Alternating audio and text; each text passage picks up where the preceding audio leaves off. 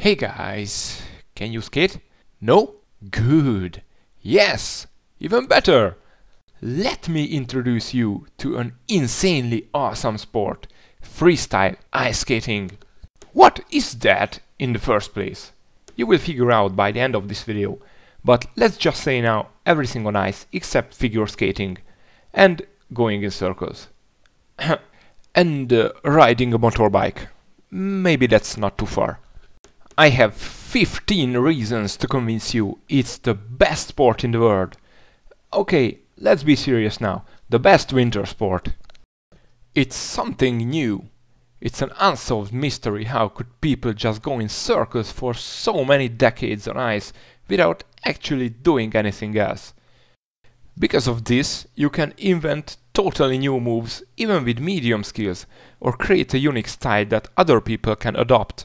New tricks just pop up from nowhere and when I see something new in a video I'm like wow you nailed it, nice idea, gonna try that next time. It's easy to learn impressive tricks within days or weeks. Yeah, you need the basic knowledge, like in everything. But really, from that point, there are a lot of reachable tricks which look awesome. In other sports you can literally spend years to go a few steps forward from the basic level. All the knowledge is concentrated in one place, the ice rink, and this is a huge advantage. Where do you learn any other sports? Well, you start with a Google search and if it's not an underground sport, you might get lucky and find training hours somewhere. Here you just go to the nearest rink. Ice skating itself, like any other sport, is a good way to relieve stress. Not to mention there are a lot of games you can try on ice and those are super fun. I already covered the two favors that the local people love to do here in my city. Your endurance on ice is outstanding and I think this is because it's cold there. You won't overheat, but your muscles can still stay warm to avoid injury. I feel how much I was moving when I get home and eat a dish full of meal every single time after skating. While we are at injuries, falling on ice isn't dangerous. Well, comparing to a chess match it's a torture, but the good thing is that the consequences doesn't change with higher speed. So just imagine you're always falling from standing. If you can handle that, you can handle anything. Evident question, what about elder people or just anybody who are afraid of the tricks or getting injured? It's not a must to add extreme elements to your skating. There are plenty of opportunities already. This leads to the next one.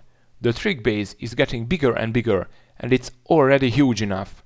Just my own tutorial playlist has 25 videos of tricks at the creation of this video.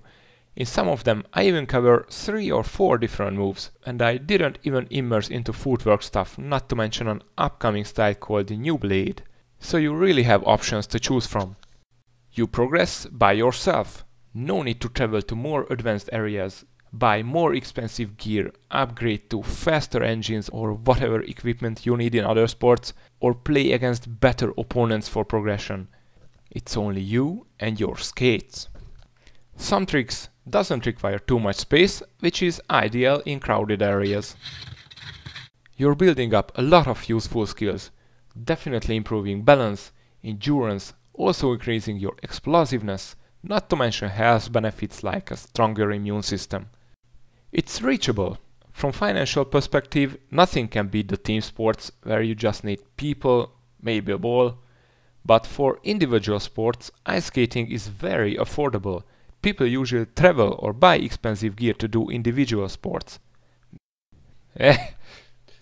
You just need a pair of skates and some minimal maintenance. Furthermore, ice rinks are pretty common nowadays. You will be an individuality on the ice. You will have a unique style that nobody else has. The surface of the ice is just another world. You can skate in the nature, which is just a standalone activity by itself. I remember going to a lake with my parents as a kid. I loved it. I don't have clips from that era, but when we got our driver's licenses and could drive to the lakes with my friends, a new meaning was given to the weekends. That's it guys, I hope you like this list. I already mentioned I have tutorials and I'm sharing it with you now. If you want to learn, you know what to do. Have a nice icy day.